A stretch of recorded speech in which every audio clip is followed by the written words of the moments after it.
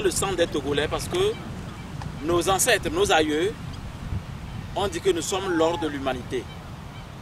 Un Togolais qui n'arrive pas à joindre les deux bouts, ce qu'il lui manque, c'est un outils en développement personnel et spirituel. Et c'est un marketing purement togolais pour qu'ensemble nous puissions distribuer d'une façon équitable ce que j'ai nommé les dignes millionnaires togolais. Un digne millionnaire, c'est celui-là qui ne consomme que 100% togolais.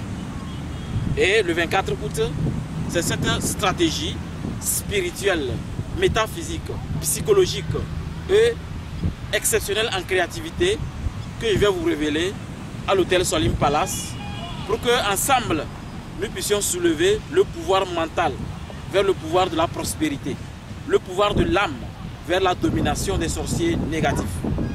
Le bonheur dans lequel un sorcier existe, c'est que vous n'êtes pas bien outillé. Donc rendez-vous le 24 août pour partager la richesse pure à l'état pur, pour partager les trois pouvoirs de la prospérité. Je vous remercie.